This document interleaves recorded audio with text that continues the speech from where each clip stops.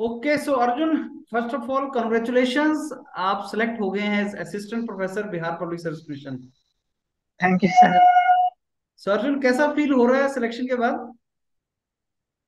Sir तो हमको तो सपना लग रहा था जब रिज़ल्ट आया तो हम ऐसा फील हुआ कि सपना देख रहे हैं। Okay so this was your sort of dream job yes sir बहुत अच्छा है बहुत ही अच्छी जॉब है अर्जुन और बहुत अच्छी स्टार्टिंग करियर की।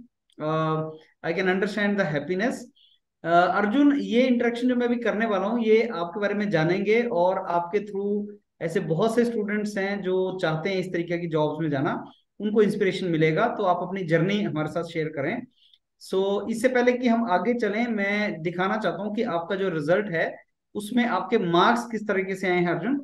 ये आप हमें थोड़ा एक्सप्लेन करें कि ये जो आपका मार्क्स है अर्जुन एकेडमिक मार्क्स इसका क्या मतलब होता है? What is the academic marks जो आपको 11.78 मिला है? सर एकेडमिक मार्क्स में इसमें जो वेटेज था सर एमटेक का वेटेज 10 परसेंट था सर और तो ये कितने में से मिलते हैं एकेडमिक मार्क्स और सर क्या सर? एकेडमिक मार्क्स कितने में से होते हैं? टोटल में से। सर जैसे total exam sir hundred marks का था जिसमें ट्वेंटी फाइव मार्क्स सर क्यों?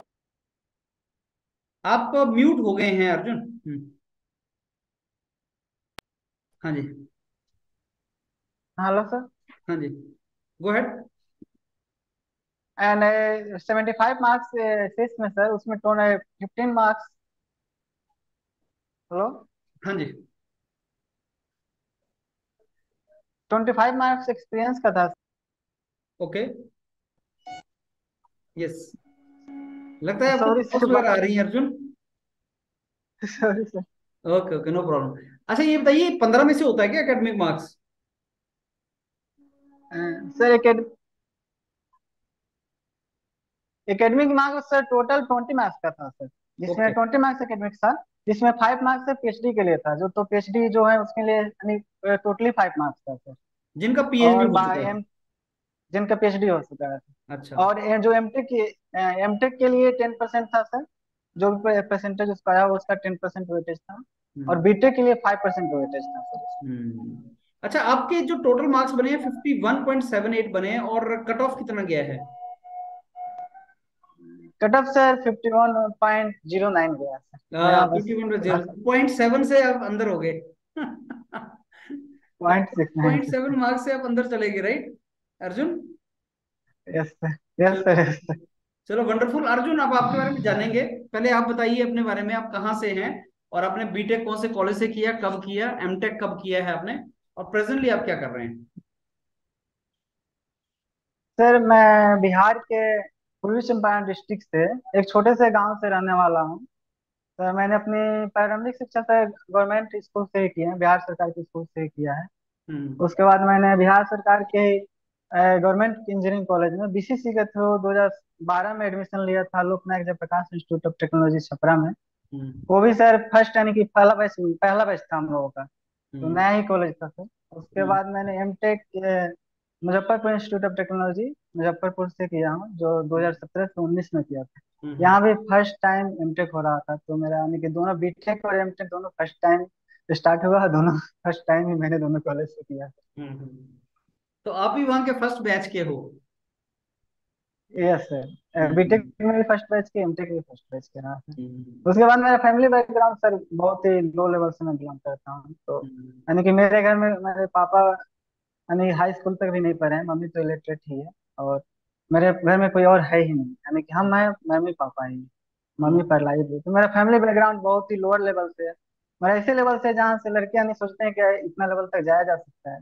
तो उसके लिए मैं मोटिवेशन ज़रूर हूँ सर वो भी एक गवर्नमेंट स्कूल से जहाँ कोई गाइडेंस हमको नहीं था सर मेरे गाइडेंस का बहुत दिक्कत हुआ जिसमें जॉब में भी हमको बहुत टाइम लग गया हम्म।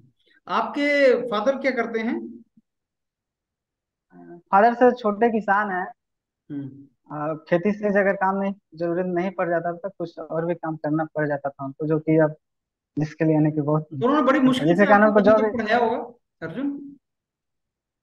यस सर बहुत ही मुश्किल से उन्होंने हम लोग को हमको पढ़ाया था। इसी कारण हमको सर एमटेक करने के बाद भी यानी कि छोड़े थी रेलवे हमको ज्वाइन करना मजबूरी हो गया था। नहीं तो हमको प्राइवेट जॉब करना पड़ता। हम्म। मैं प्राइवेट जॉब सर्च भी कर रहा था लेकिन रेलवे रेलवे में हो गया था तो फिर ज्वाइन कर लिया। हम्म गुड तो अच्छा अब ये आपका जो सिलेक्शन हुआ है तो कैसा फील कर पेरेंट्स कैसा फील कर रहे हैं अभी? पेरेंट्स तो बहुत ही खुश है क्योंकि मेरे पापा का इसमें जो है पापा बहुत ही मेहनत किया उनका यानी कि संघर्ष हम नहीं बोल सकते हैं यानी कि सबसे ज़्यादा संघर्ष उन्होंने किया मेरे लिए।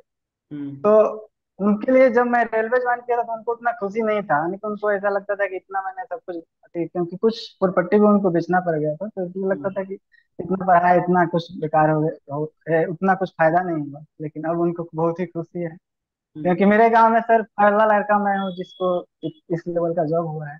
हम्म हम्म मेरे ओके गाँव नहीं कि मेरे हम्म ओके ओके सो अर्जुन मेरे को आप ये बताइए कि आप जैसे अभी रेलवेज में कब आपको जॉब लगा था? रेलवे में सर एमटेक में मैं था ही तभी रेलवे कंफर्म हो गया था कि इसमें हो गया है सर लेकिन हम्म कोविड का ज्वाइनिंग में लेट हुआ 2000 जुलाई 2020 में ज्वाइनिंग करता। अच्छा हम्म तो बीच में गैप भी रहा था क्या आपका कोई? सर जुलाई 2019 से तो मेरा एमटेक फाइनल हुआ सर। उसके बाद रिज़ल्ट फाइनल हो गया था डॉक्यूमेंट वेरिफिकेशन हो चुका। ओके तो ज्वाइनिंग का वेट कर रहे थे जब तक जेई का भी एग्ज़ाम था सर तो जेई के मेरा छूट गया। प्री हुआ था मेंस में वेटिंग कि मेरिट नहीं बन पाया हम्म हम्म हम्म ओके तो आपको बीच में बैठना नहीं पड़ा आपका जॉब लग गया था? जैसे तीन चार महीना हुआ यानी कि स्कॉलरशिप बंद हुआ मेरा अक्टूबर अक्टूबर अक्टूबर में स्कॉलरशिप एमटेक का बंद हुआ उसके बाद तीन चार महीना हम्म। अच्छा तो अभी कितना टाइम हो गया आपको जॉब करते हुए? Two year three four three month four month हुए अच्छा अर्जुन आप मेरे को बताओ इसमें जो आपका इंटरव्यू हुआ था उसका डिटेल थोड़ा सा बताओ क्योंकि बहुत से बच्चे ऐसे हैं जिनको अभी लेक्चरर का इंटरव्यू आ रहा है। थोड़ा डिटेल बताओ क्या क्या क्वेश्चन पूछे गए थे उन्होंने आपसे कैसे इंट्रोडक्शन हुई क्या एचआर क्वेश्चन था? टेक्निकल क्या था? क्वेश्चन बस बताइए आंसर मत बताइए। क्वेश्चन बता दीजिए क्या पूछा था उन्होंने? जैसे मैंने एंट्री किया तो सर हमसे यानी कि मेरे पूछा गया बीटेक कहाँ से किए हो? अपने बीटेक कॉलेज का नाम। उसके बाद फिर एमटेक कहाँ से किए हो? हम्म। फिर अभी क्या कर रहे हो? तो मैंने अपना जॉब प्रोफ़ाइल बताया तो फिर उन्होंने पूछा कि पोस्टिंग अभी कहाँ है? तो मैंने अपने स्टेशन का नाम बताया तो मसले को जान नहीं पाया तो फिर पूछा किस डिस्ट्रिक्ट में? तो मैंने अपना डिस्ट्रिक्ट बताया।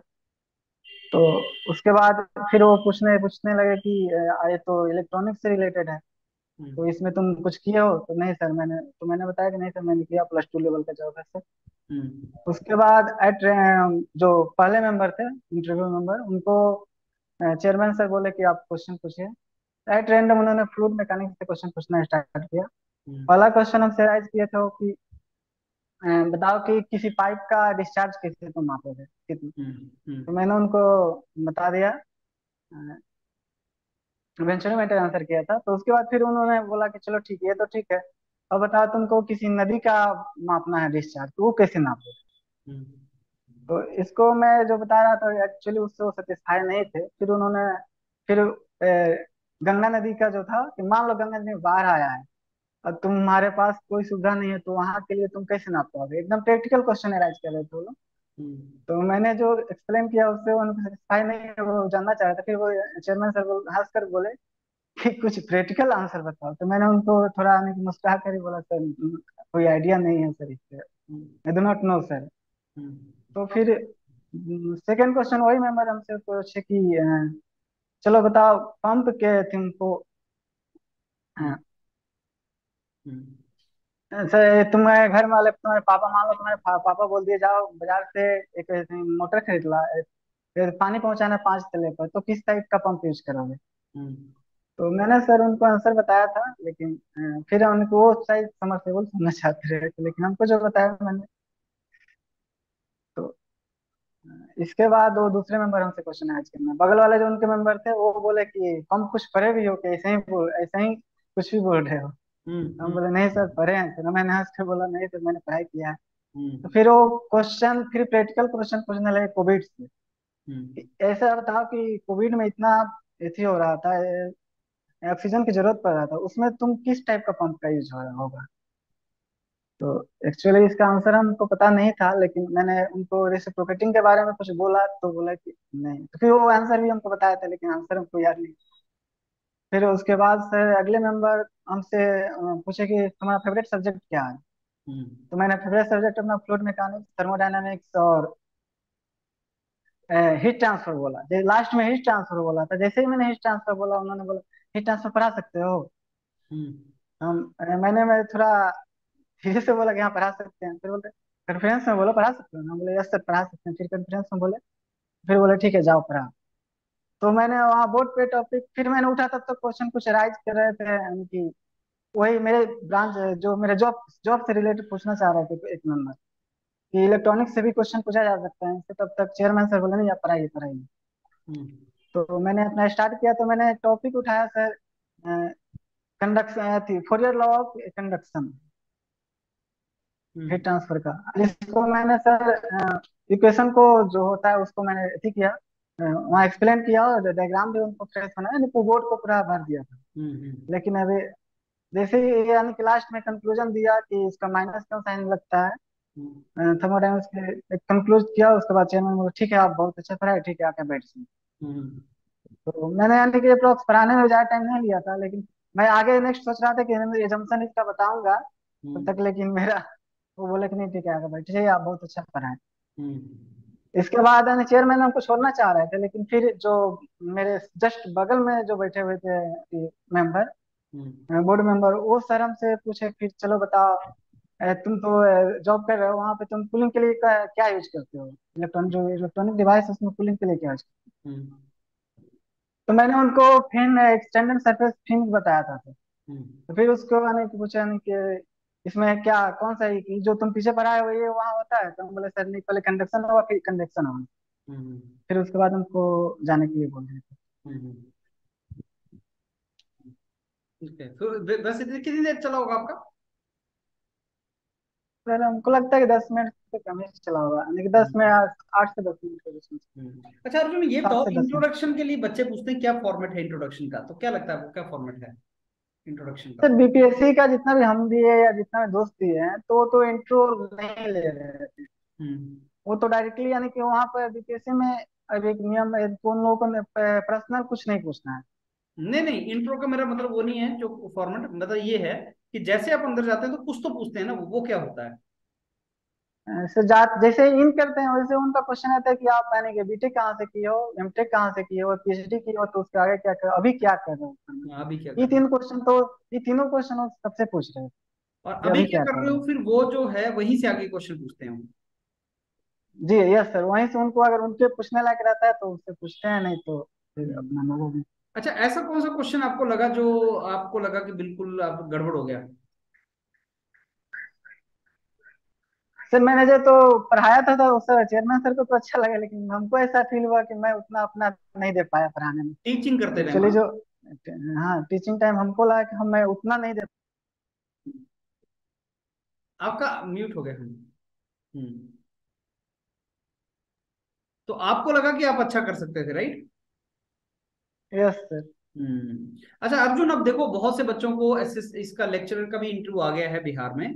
तो उनके लिए कुछ इनपुट देना चाहते हैं उनको कुछ गाइडेंस देना चाहते हैं किस तरीके से आगे पुल वो तैयारी करें और कैसे वो आगे अपना बेस्ट कर सकते हैं?